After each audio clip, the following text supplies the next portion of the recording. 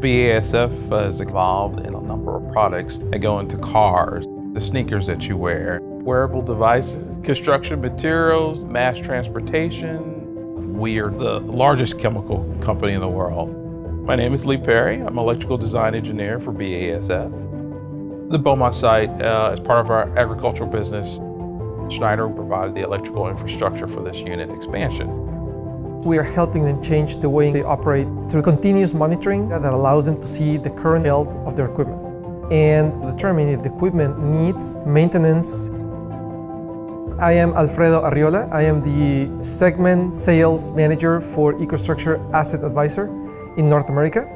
EcoStruxure Asset Advisors monitoring key assets in the substation 6 there's two systems. There's one with electrical distribution equipment, the medium voltage and low voltage switchgear, and then you got the process network, which is tied into the motor control centers.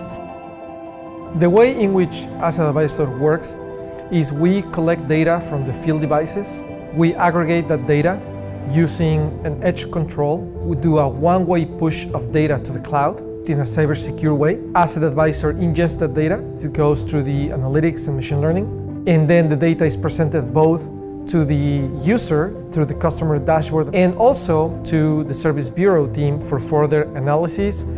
It's a collaboration between us and Schneider. We have a better feel for the health of our equipment.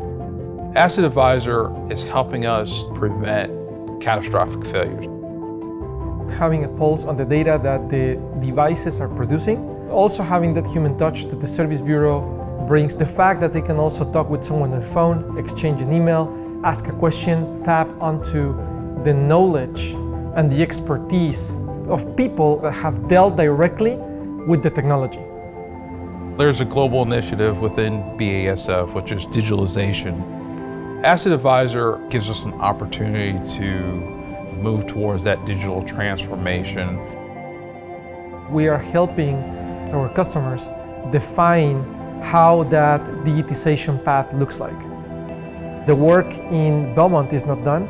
There are a number of other substations that they are looking to modernize. I see this as an opportunity to really move forward and it's a brand new horizon for BASF.